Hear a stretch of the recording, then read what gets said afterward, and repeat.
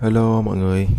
Hôm nay uh, mình uh, về được uh, hai viên pin của Pimi X8 SE 2020 Thì mình cũng làm một cái clip này ngắn gọn để nói về pin của Pimi X8 Thực ra thì pin nó vẫn dùng chung với những dòng 2019 2018 Nó vừa dùng với cái lượng pin là 4500 mAh.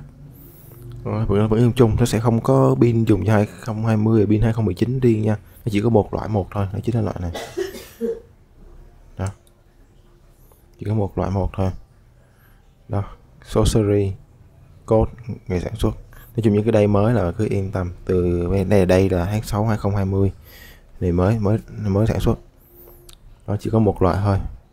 Model chung dùng lượng pin nó volt nó chỉ có một loại thì khi các mua thì các bạn cứ mua bình thường thôi, cũng không có gì phải đấy, lo lắng là mua pin này có dùng được cho PMI 8 SE 2020 hay không. Nói chung là dùng được hết. Này là hãng sản xuất của mình đặt rồi. Chỉ có một loại thôi, cũng không có loại khác để mà đặt nữa. Nên mọi người cứ yên tâm. Chung một cái lựa pin nào đây mới dùng thì sẽ ok hơn thôi. Đó, hai viên pin. Đó, cách phân biệt rất là dễ. Mỗi viên pin nó sẽ có một cái số series khác nhau. Con này một số và con này nó sẽ là một số. Nó sẽ khác nhau nha mỗi con số series khác nhau. Ok. Cảm ơn mọi người rất nhiều. Nên mình làm clip ngắn gọn thôi để chia sẻ về pin này.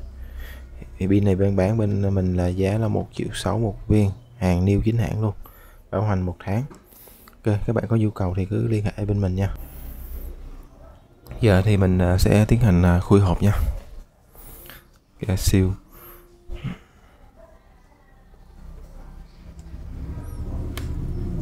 ok mở hộp nào? Wow. Nó không có Pimi này nó không có lùng qua một cái lớp ờ, uh, bao phía ngoài ha. Nó để như vậy luôn. Ok. Nhìn màu trắng cũng rất là đẹp nhưng mà nó hơi dơ. Nếu mà xài nó có bụi bám em sẽ hơi dơ nha. Ba ba mất. Pin ok, là số là dòng pin lipo nha. Nên khi các bạn xài thì nhớ làm đúng cái những cái quy trình, những cái đấu thuật khi xài pin này, như sạc, xả pin đúng quy trình. Ok, để mình coi nè, đây. Dòng mã pin volt rồi đầy đủ hết. Và có số series. Đó là một cái cách check. Nó cái số này sẽ khớp với cái số trên hộp. Ok